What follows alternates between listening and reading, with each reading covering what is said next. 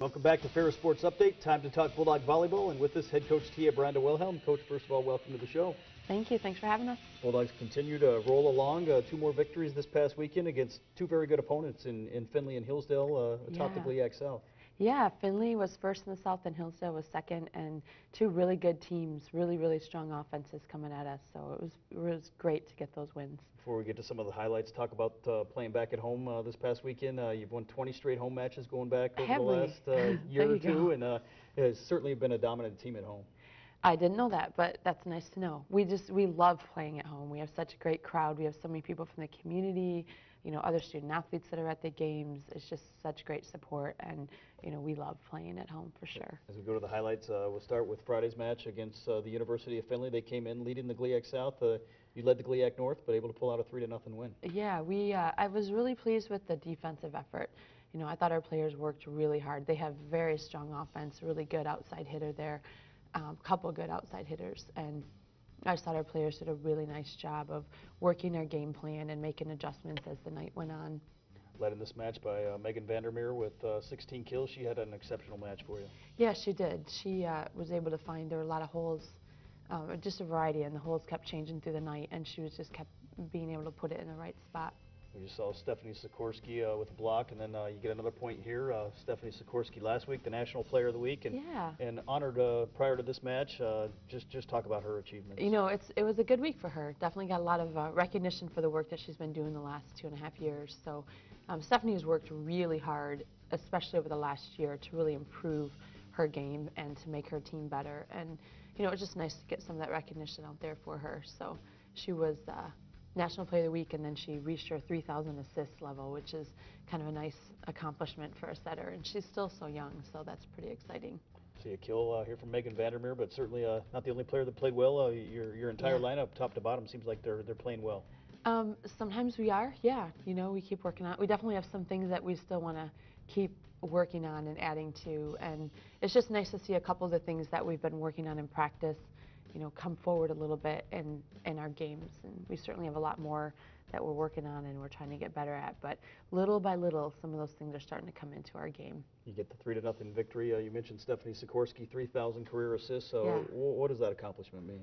Oh, it's just great for her. I mean, she's and the thing is, is you gotta love it when a kid like that has accomplishments because she works really hard for every one of those. You know, she she's in the gym extra and she's you know constantly working to try to be better in what she's doing with her technique and tactics, just understanding how to set the game better. So, and she's come so far in the last year. It's just been really neat to watch.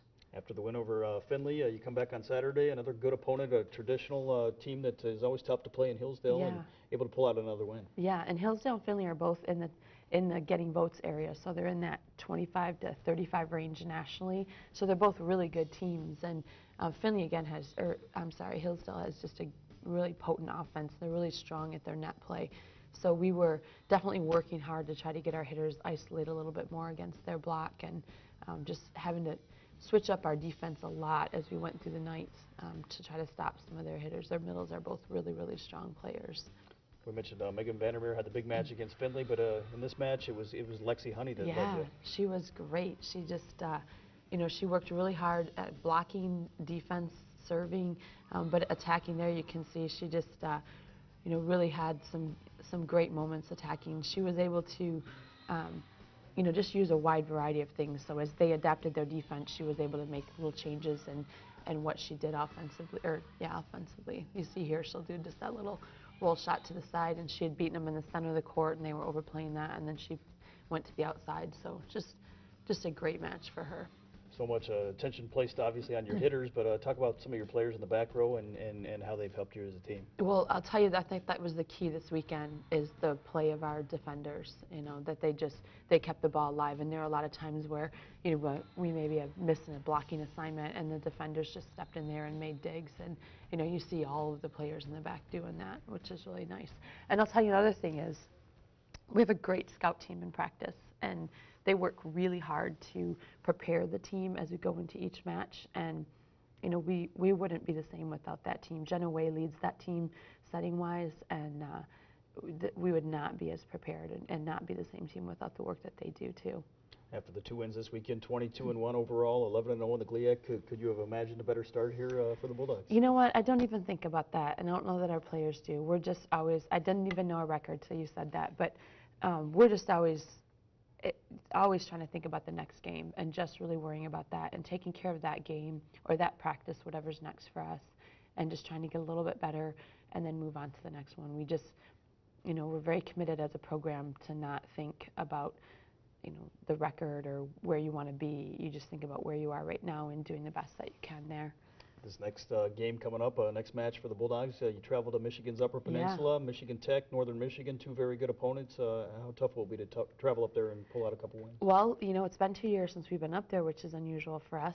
But uh, it's it's always tough to go up there and play for sure. And Michigan Tech has a just potent offense. You know, they're I think they're fourth or fifth in the conference right now, which is great for them. They, you know, they were more along the middle of the conference, and they've moved into the top part of the conference this year. Um, they have almost everybody back from last year, which is it says a lot for them. And their offense is really strong, so it will definitely be a defensive night for us. Not only do you have uh, Michigan Tech, Northern Michigan, then an early uh, week matchup against Grand Valley State, Yeah. and uh, another uh, tough stretch here uh, in the middle of the season. Yep, another quick turnaround and lots of matches in short amount of time. So we just try to keep it all in perspective and just focus on that next match. Just three weeks left here in the regular season. Kind of kind of amazing how fast uh, the season has flown by so far. It sure does. It is amazing. It's the end of October here, and, and I can't believe it.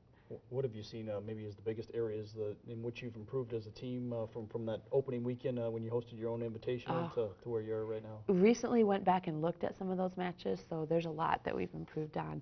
You know, I think in uh, really in a in all aspects of the game, we've definitely improved in, you know, definitely improved in our passing and our defense. Our attacking has come a long way. Um, we still have lots of work that we want to do in both of those areas. Um, we have a huge list that we work off of every day for practice, but yeah, I would say probably the best thing is just, you know, the players taking care of each other on the court and you know making sure that they you know handle themselves whether we have success or failure in the play ahead of it.